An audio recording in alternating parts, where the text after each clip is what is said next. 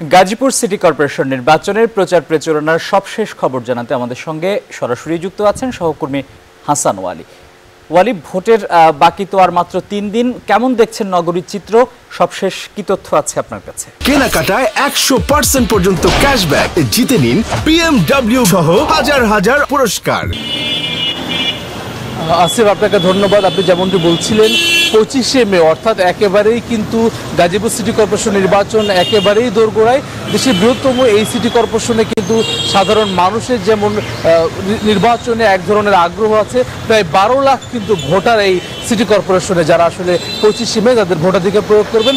আর পরিবেশের কথা যেটি আপনি বলেন আমার পেছনে যে বিভিন্ন যে পোস্টার আপনি দেখছেন সেটিতে কিন্তু পুরো যে ভোটের আবহ সেটি কিন্তু বোঝা যাচ্ছে। গাজীপুর সিটি কর্পোরেশন কিন্তু বেশ কয়েকদিন যাবতে আসলে নির্বাচনী প্রচার প্রচারণা শুরু হওয়ার পর থেকে আমরা দেখেছি প্রার্থীদের সরব উপস্থিতি এবং আজকে একটু পরেই যে আওয়ামী লীগের যে প্রার্থী আজমতুল্লাহ খান তিনি যে ইশতেহার সেটি আসলে প্রকাশ করবেন। এর আগে আরও দুজন প্রার্থী, জাতীয় পার্টি এবং ইসলামী আন্দোলনের দুজন মেয়র প্রার্থী আসলে সেটি ইশতেহার দিয়েছেন।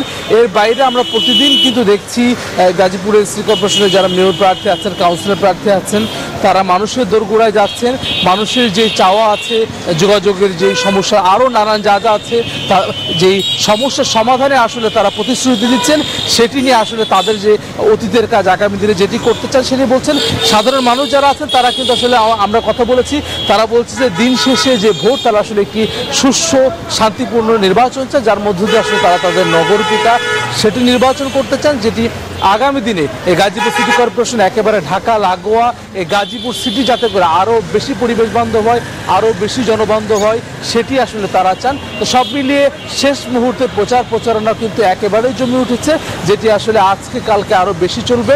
পঁচিশে মে ভোটের মধ্য দিয়ে আসলে গাজীপুর সিটি কর্পোরেশন নির্বাচনের এবারে যে নির্বাচন, সেটি অনুষ্ঠিত হবে। তো সব মিলে গাজীপুর থেকে আমার কাছে থাকা সবশেষ আসিফ।